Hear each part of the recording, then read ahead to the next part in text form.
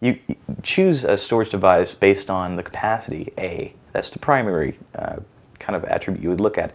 And then you would choose it, secondly, based on the interface it uses.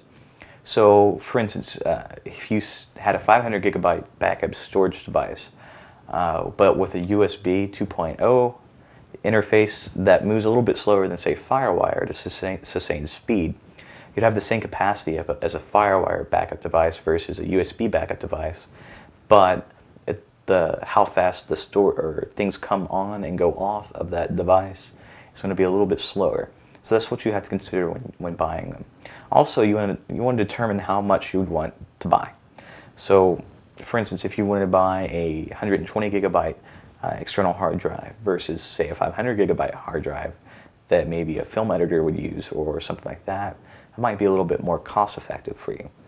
How do you know what uh, what to buy, how large of a capacity to buy? Well, that's kind of based on what you do. So if you're a video gamer and you want to back up your saved games, which could be all of one or two megabytes, uh, probably a smaller capacity drive like 120 um, would be all right. Most people's music libraries are only maybe 20 or 30 gigabytes at tops. So that's just a typical kind of idea, rough outline of where you want to look. Um, uh, the people that need the larger uh, capacities are the geeks like myself that back up a lot of things like programs and applications um, and do a lot of archival of pictures or um, more aptly videos that take up a lot of space. Um, so that's where you kind of want to look. Is there a particular brand that I would endorse? No. Um, they're very much very similarly made. Uh, you just don't want to go too too cheap, um, because in the computer world you get what you pay for. Um, so there is uh, there is that. A couple of names that you want to keep in mind uh, when shopping for these would be Western Digital. Um, they are the premier for external hard drives.